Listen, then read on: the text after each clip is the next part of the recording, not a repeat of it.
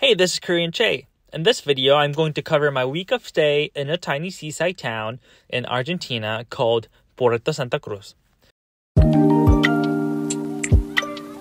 In the last video, after three hours of flight, waiting for two hours at a bus terminal, and three hours of a bus ride, I arrived at a tiny seaside village called Puerto Santa Cruz, with a population of around 4,000.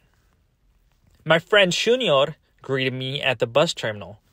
Junior is an amazing guy. I got to know him and his girlfriend Diana when I was traveling to El Chaltén, a small hiking village in the south of Argentina.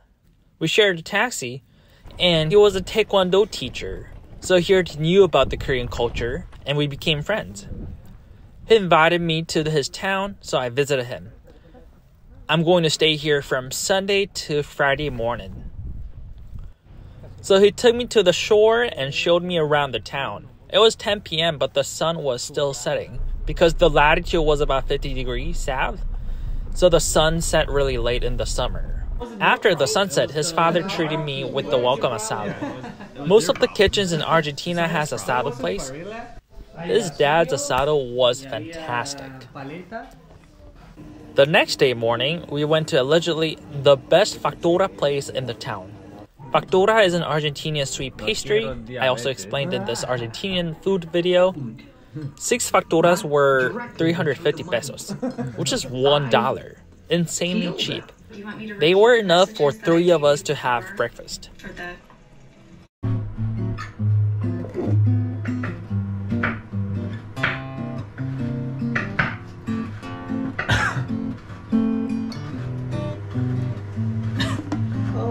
A couple of hours later, we had tomato pasta for lunch.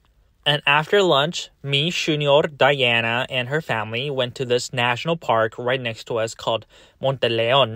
It was only 40 minutes away from the village. The park had a beautiful landscape with sandstone cliffs, rocks, and islands along the coast. First, we went to the gravel beach and had family time, grabbing homemade pasta frolla de membrillo, which is a quince pie, and mate together, of course. I thought membrillo was kind of like a berry, but it was a quince. I liked it a lot. Then we walked around the park. The massive sandstone cliffs felt like I was in a movie scene. Laos.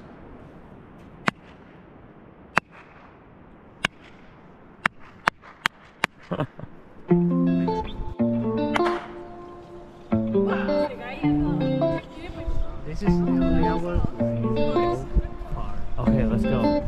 This is tight.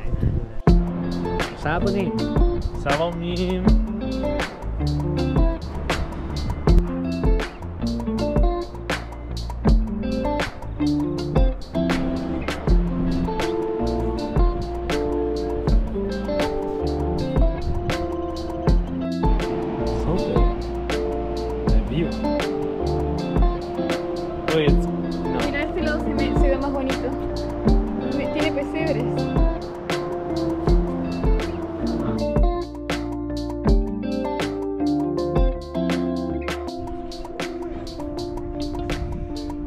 Junior. 사부님. 사범님. 안녕하세요. 합. 기야. Take one. 너 하나, 둘, 셋, 넷, 다섯, 여섯, 일곱, 여덟. I saw so many guanacos there too. Guanaco is an animal that is close to llama, mostly living in Argentina.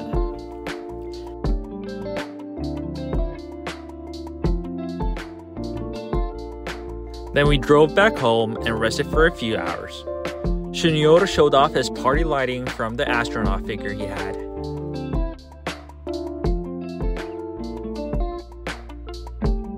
After getting some rest for a few hours, we all gathered to have dinner together at, yes, 1 in the morning. Argentinians eat dinner late, and it gets worse in the summer since the sun sets late. We made burgers with the asado, put vegetables between the buns, and had them. Yeah, the food was good, and then the dinner ended at 2.35 in the morning. The next day, we had facturas as breakfast at 1 in the afternoon like yesterday. Then I went to get a haircut from Junior's friend Gabriel. Gabriel was from north of Argentina, Misiones, and came to Puerto Santa Cruz to serve in the Navy. He was a really cool guy. So he learned how to do a haircut in the Navy. He told me the haircut was on the house, but I paid him. The haircut was 700 pesos, which is less than $2. Oh my god. Te quedó genial. Oh, you're like Justin Bieber now. Shut up. and we stopped by the only supermarket in the town, grabbed some groceries, and came back home to have lunch. For lunch, we had panchos, which are Argentinian hot dogs. On the regular sausages and hot dog buns, they add a bunch of sauces and cheddar cheese and sprinkle cracked potato chips on the top. Then the pancho becomes really crispy and delicious. In the evening, we drove to an animal farm of Junior's brother in law, 30 minutes away from the town. It was a pastoral and tranquil farm next to the river. They raised many different species of animals, I, I thought so I took a look with Diana and practiced some animal names in Spanish. Chancho es siempre como la persona que come Ah, sí, bueno, acá igual chancho es el que come, el que es sucio. Sucio, el que sí. Universal. In Argentina, before the barbecue, people eat a ham and cheese board called picada and make themselves not hungry. So we ate some ham, salami, and cheese. We tried to make a fire to do some barbecue. We succeeded in making a fire, but his brother in law had something going on, so he couldn't make it. So we left the place without having the barbecue. So instead, Diana went to her house to have dinner with her family, and Junior invited his friend Carlos to have dinner together. He was from a city called Santiago del Estero in Argentina. He was a singer, and his band was in the town. We made a criollo, which is a grilled meat in a big pot with onions, and ate the whole thing. Of course, eating the freshly cooked meat with the bonfire was absolutely bomb. So we were chilling, drinking wine, and eating the criollo, and we had dinner until 3 in the morning. I- The next day, I was late in the morning, and in the afternoon, Junior took me to his work. So Junior teaches taekwondo in the evening, but in the daytime, he works at an airport as a meteorologist. So I looked around the airport. After his work, we went to a little drive and we walked on a cute trail with mate, of course. That's me trying the local berry called calafate. That's why there's a city called El calafate. Calafate because it's a regional Come here. fruit. Come here, son. I will teach you something. ¿Cómo, por, ¿Cómo come? ¿Cómo como? Así. With the tongue. Y sacas las Then the the chips. Spit it out.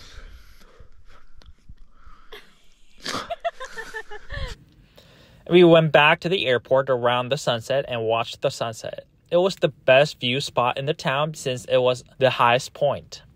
And for dinner, Carlos invited us to his house for an asado.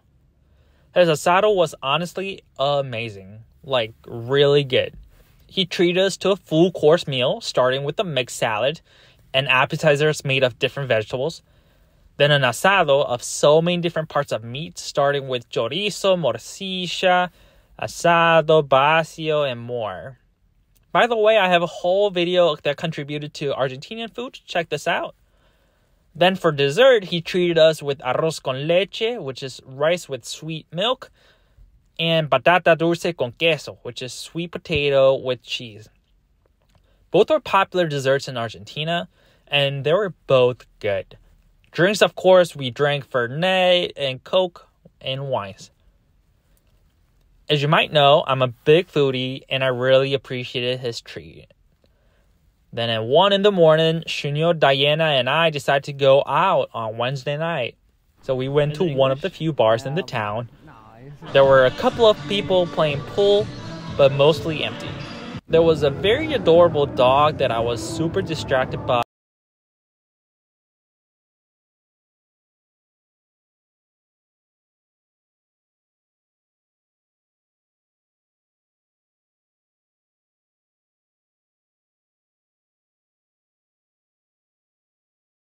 Easy morning with facturas and late lunch with pizzas. Since today was the last day, I, we decided to go to Penguinera to check out the penguins. Penguinera was a natural habitat for penguins in the area. They say the penguins migrate to the north and the south of Puerto Santa Cruz. This was my second time seeing penguins in nature after the beach in South Africa.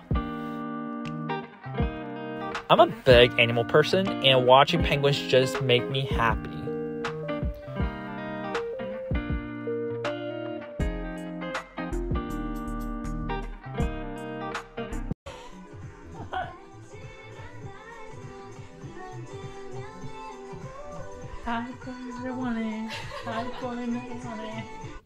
We went to Diana's family's place to have some drinks for the farewell.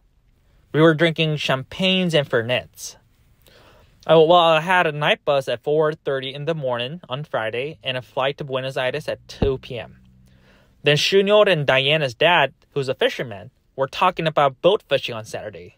I'm like, what? Boat fishing? I want to go boat fishing. Are you sure that you're going to go boat fishing on Saturday?